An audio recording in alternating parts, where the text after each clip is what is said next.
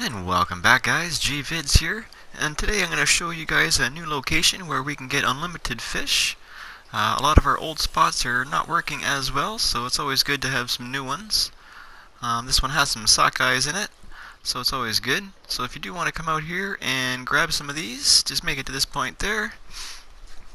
Now you're just going to want to come here, whip out your fishing pole. You can either cast upriver or downriver, it really doesn't matter. Stop on the river lure or a special river lure, again, does not matter.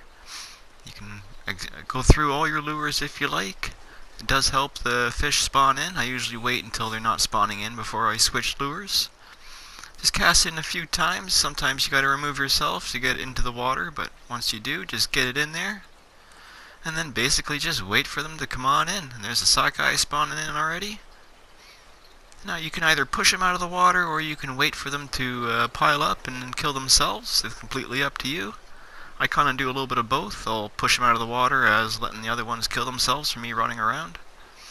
Looks like this sockeye is being stubborn. Get out of the water, bud. I'm like standing on you. Oh, there you go.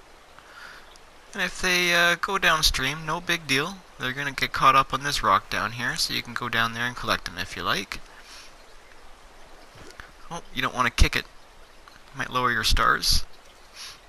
But throw those in the satchel. You do want to use your dead eye because the smaller ones are kind of hard to see. Um, usually I just use the vibration of the controller to find those, or the just kind of tap square every once and again. And uh, oh, there's one little rock bass there, perfect. So you can just walk around the edges, run back and forth. If they stop spawning, you can just cast in the water again if you like. But for me, I just basically walk around and collect them as they come. Well, there's another one. I didn't see it, but I felt it. Little chain pickerel. There's a wide variety of fish here, so that's kind of a good thing. Plus the sockeyes are here, which I've been trying to find one of these uh, little spawn spots with sockeyes in them. And I finally found them. And oh, what's this? Whole pile of perch? Sweet. So anyways, guys, uh, if you found this helpful at all, make sure you like and subscribe, and uh, I'll catch you on the next one. Peace.